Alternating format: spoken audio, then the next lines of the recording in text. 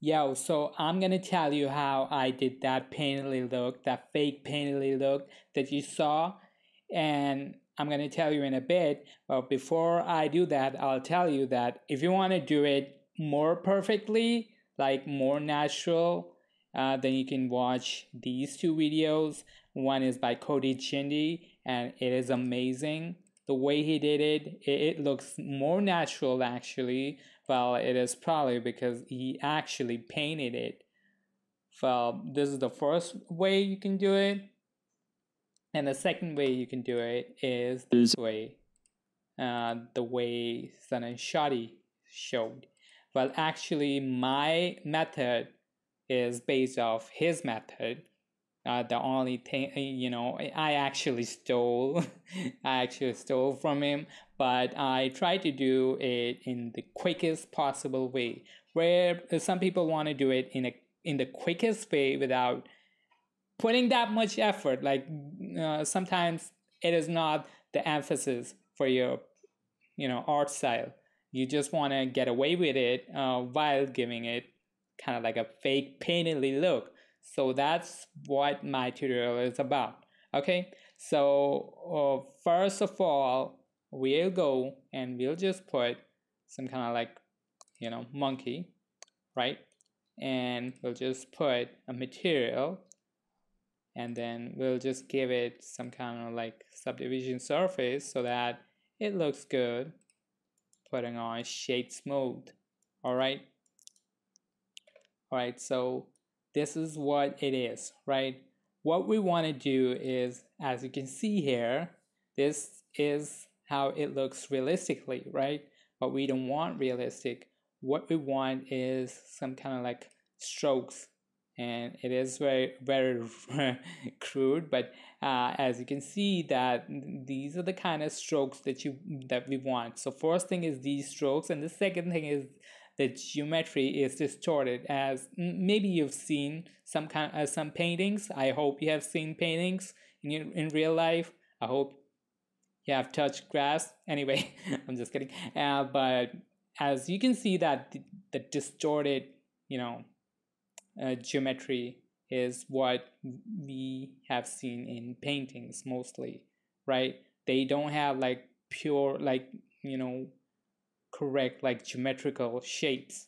Well, they have, but most of the times painterly looks have, you know, distorted geometry. But anyway, so that's what we want to do here. So simply just take Voronoi texture, which is one of the best way you can get that kind of strokes and take this position and put to normal because we want the normal of the object to change into the painterly look that we want okay? So we'll give it some kind of like green color because it I don't know it it looks like my brand color. Anyway. Anyway so yeah we'll put the position well if you have Node Wrangler attached uh, you know enable you can see how it is looking. Well putting on position as you can see that this is what we want right? This kind of like this kind of like you know?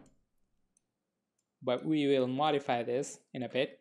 But anyway so we actually want to tell Voronoi texture that actually take the normal of the object and uh, do whatever you're doing accordingly right? We have to see, uh, take the normal of the object and then modify them, right? So if you have Node Wrangler, you know, enable, um, select this and press Ctrl plus T, and you have this texture coordinate and mapping.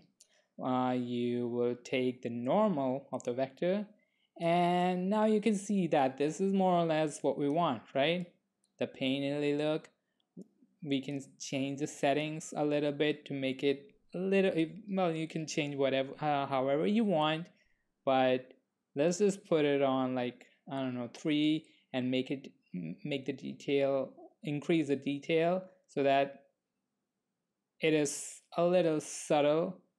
Well it is up to you but make it a little subtle and that's how it will look like all right?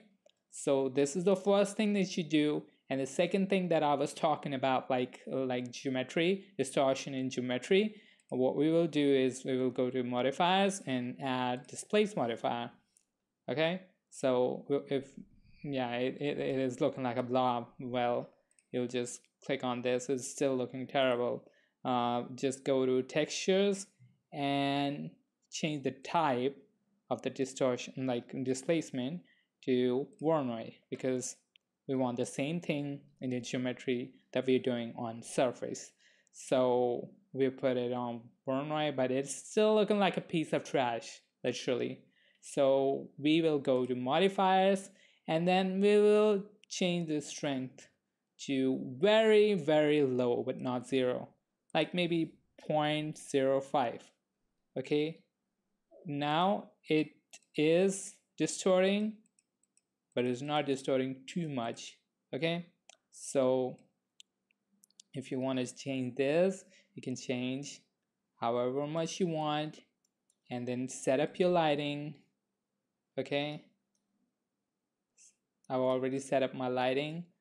If you want to see the tutorial I have previous videos where I've set up the lighting but anyway we already set up the lighting and if I would render this we will see that kind of painterly look that we, we want you can change the settings however you want but more or less this is the kind of painterly look I showed you in the beginning I hope you like the tutorial and I'll make more videos in the future uh, I guess like, subscribe, whatever. Give me money. I don't know. Give me a house. I don't know. Do something, but. Or at least just make this. Anyway, see you later.